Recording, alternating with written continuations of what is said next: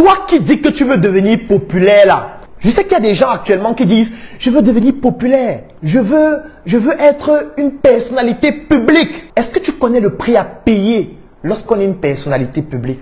Tu connais le prix à payer? Est-ce que tu sais que quand tu es une personnalité publique, tu n'as plus de vie? Est-ce que tu sais que quand tu es une personnalité publique, tu ne peux plus aller n'importe où? Ce n'est pas quelqu'un d'autre qui va payer ce prix, c'est toi qui vas payer.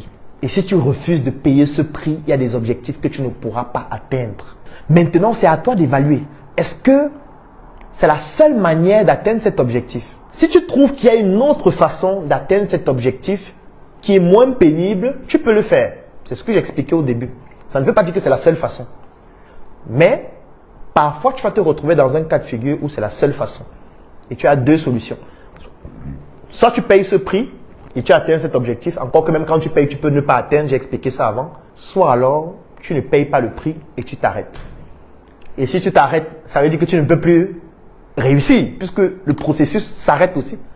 Puisque le jour où tu arrêtes de payer le prix, le processus s'arrête et tu ne peux plus réussir. Ta vie s'arrête. Et s'arrêter, ça veut en réalité dire que tu es en train de régresser. Parce que dans la vie, étant donné que tout est dynamique, si tu t'arrêtes, ça veut dire que tu es en train de régresser. Est-ce que tu es prêt, toi qui veux devenir populaire là, est-ce que tu es prêt à payer ce prix? Est-ce que tu es prêt à ne plus pouvoir aller dans certains endroits?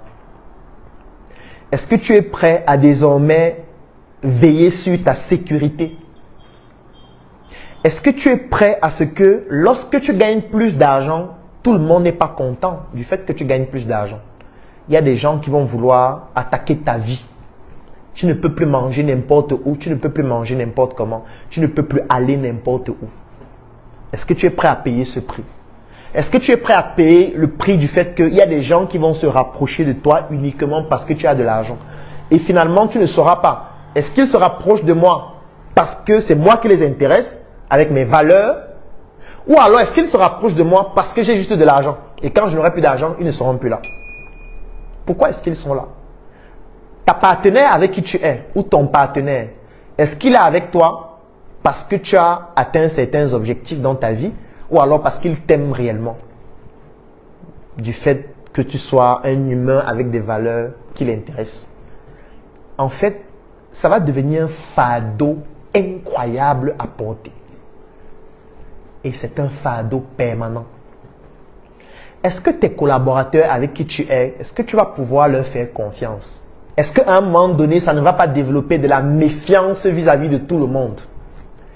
Est-ce que tu ne vas pas devenir paranoïaque? Parce que moi, par exemple, je connais des personnes qui sont très riches financièrement et qui préparent leur nourriture elles-mêmes. J'en avais même fait une vidéo. Moi, je connais une personne, je ne peux pas seulement citer son nom en public, qui prépare sa nourriture elle-même. C'est une personne qui fait son marché. Elle est riche, milliardaire.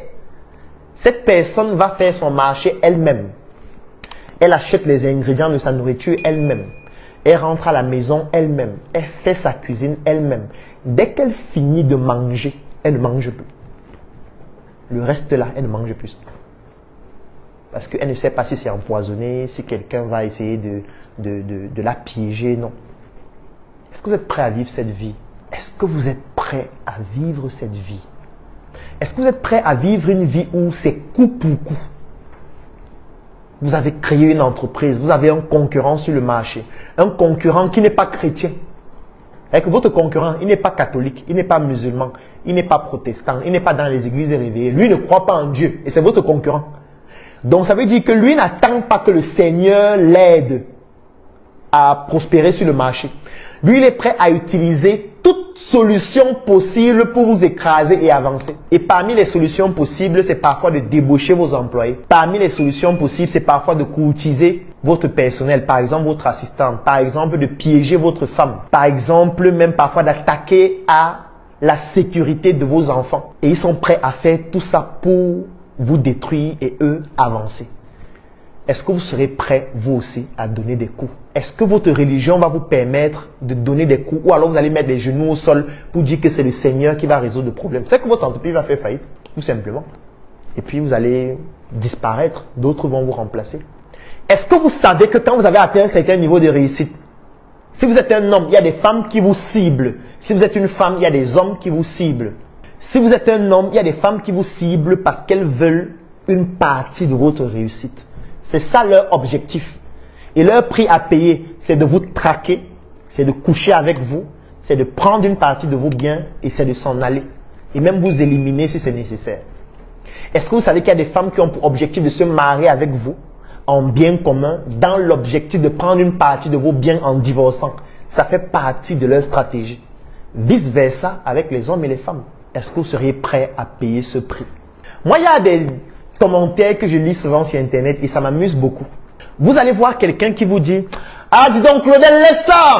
Tes parents avaient beaucoup d'argent. Laisse ça. Tu es un bobo. Laisse les histoires là. Nous, on a grandi au quartier, on n'avait rien, on était des pauvres. Toi, tu es un bobo.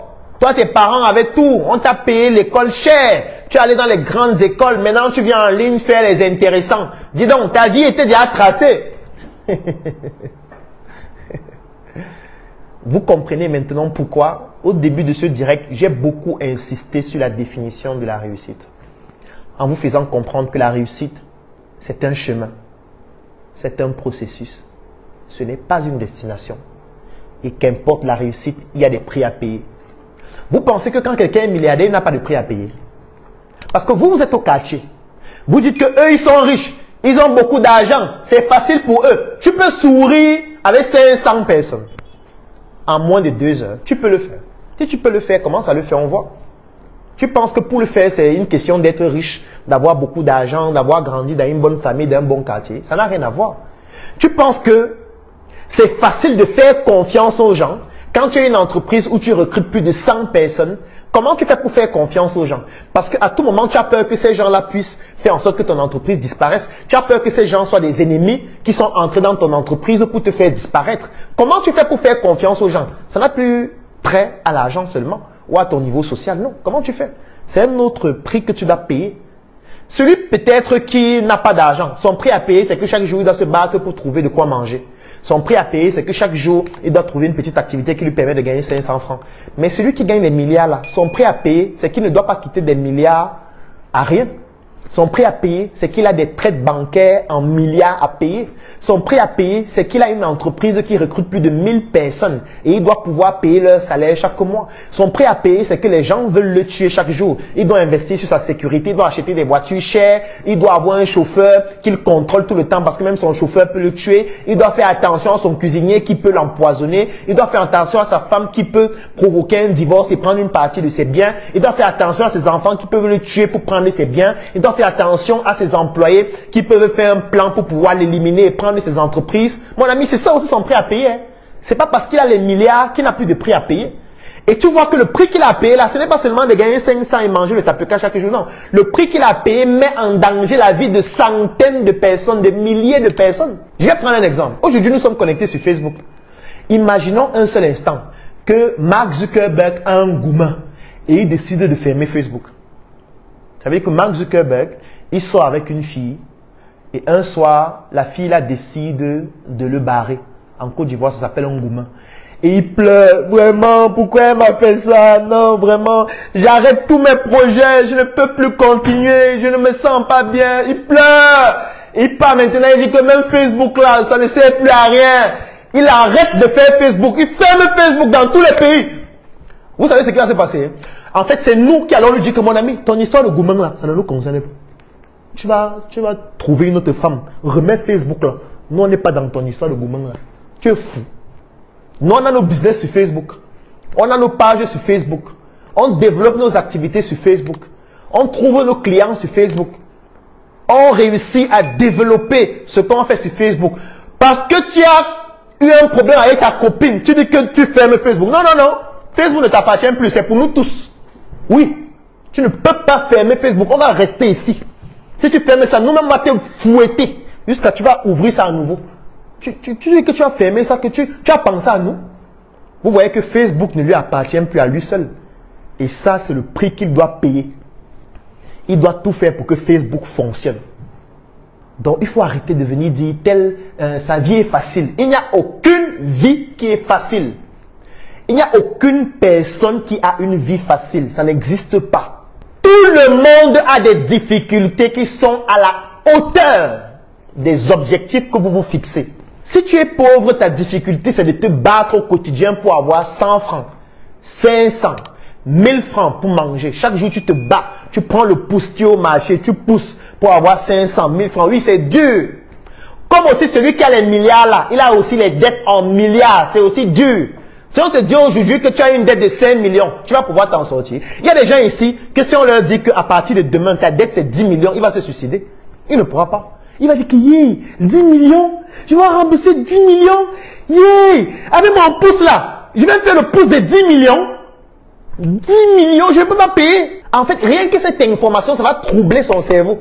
Mais il ne sait pas qu'il y a des gens qui sont endettés en hauteur de milliards, mais qui sourient chaque jour. Est-ce que ce poids-là, tu peux le porter dans ta tête Apprenez, un, la réussite, c'est un processus.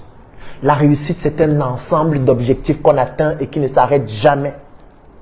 La réussite, c'est un chemin. Ça, c'est la première chose à retenir.